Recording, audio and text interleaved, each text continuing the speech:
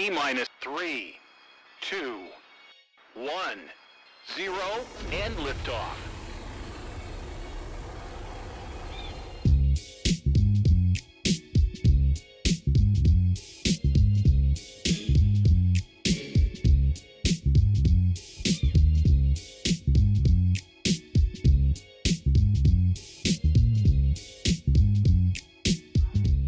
One of the biggest insights for me and one of the biggest themes throughout um, the SFF summit here in Munich was that um, the very same management practice that put us where we are today won't solve us and won't help us in tackling all those challenges we face as human beings.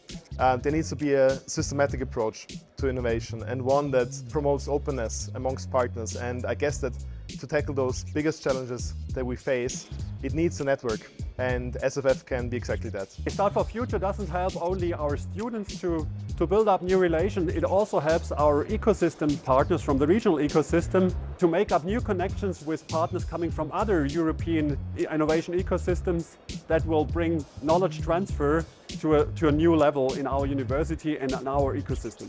For Europe's future, we need to bridge the gap between academia and industry.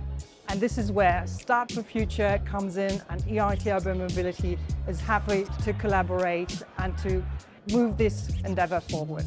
We don't have the pocket money here to, to build a new venture, so that's why also the access to venture capitalists is super important for us. And I guess building a startup in 2023 or then 2024 soon um, wouldn't be possible without good collaborations with large companies all around Europe. It is very valuable to be part of SFF because it inspires us as an innovation hub and we bring this inspiration back to our company.